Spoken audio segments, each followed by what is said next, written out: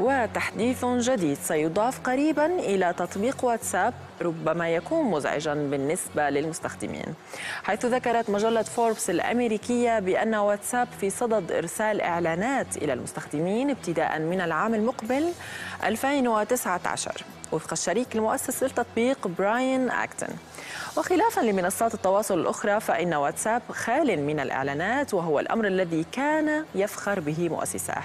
ولكن أكتن نشر رسالة مقتضبة عبر تويتر قال فيها لقد حان الوقت حذف فيسبوك. وصرح في مقابلة مع فوربس أنه غادر فيسبوك بسبب خلاف بشأن كيفية تحقيق الأرباح في واتساب.